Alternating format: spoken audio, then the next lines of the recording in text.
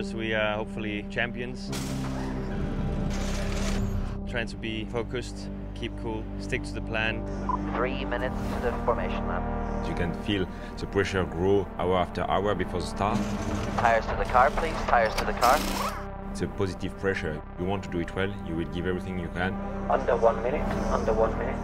The tension is building. We can feel the pressure. 30 seconds. We'll give everything to win this race and this championship.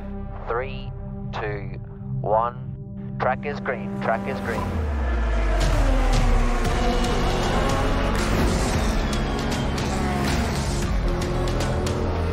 We had a good start. We are fighting hard with the Ferrari. It went back and forth on the positions. At the end of the first hour, we lost the first place. So now we are P2 behind the 51.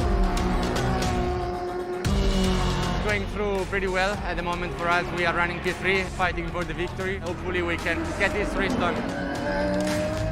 We did an undercut with 91. Box this lap, please. Box this lap.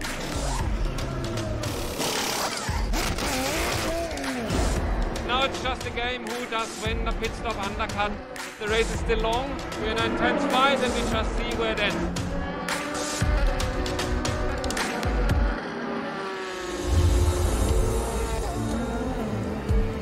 It's the last stages of the race. We are second. Now we are fighting. We are fighting everything we can. It's been a bit crazy up and down. Uh, we had to take a huge risk in the middle of the race to try to stay in the game, and it paid off. One hour 10 to go. We should be all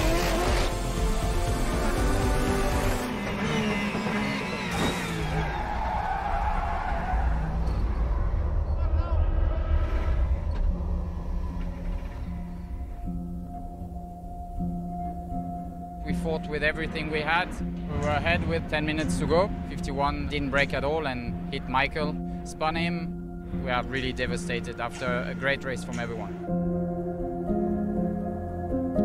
Certainly came down to the wire. Only one tenth minute across the line. Second, not only in the race, but uh, third in championship as well. To be able to finish like this, it's a fantastic result, and hats off to the guys. The sad end of a really big battle at the end, but uh, it's like it is. We couldn't achieve our goals.